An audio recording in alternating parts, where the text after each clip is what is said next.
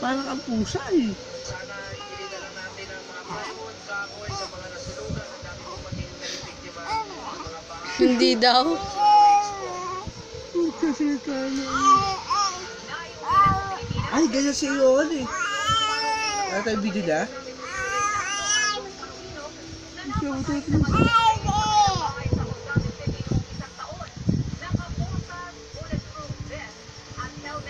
Ano yun? Ha? Gutom ka na ba?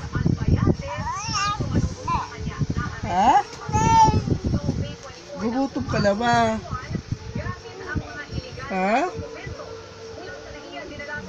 Di pa? Hindi daw. Hindi Humiling. ka nagugutom? Ha? Oo. Sino, sino, ano sinasabi mo? Ha? Ha? May Ano yung tapik-tapik pa. sinasabi mo? Para maintindihan natin, ha? Kakain ka? Ha?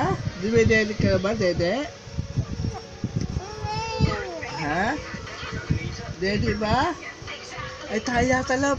Hindi, wala yan. Meron na tila mo. Wala. Tila mo kasi. Wala nga kasi katitingin ko lang.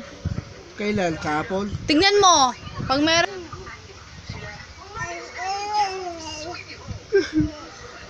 Ano ba yung sinasabi mo kasi? Hindi naman, ma- hindi naman maintindihan. Especially when you have to Ano ba yun? Ha? Ano ba yung sinasabi mo? Ha? 24 hours.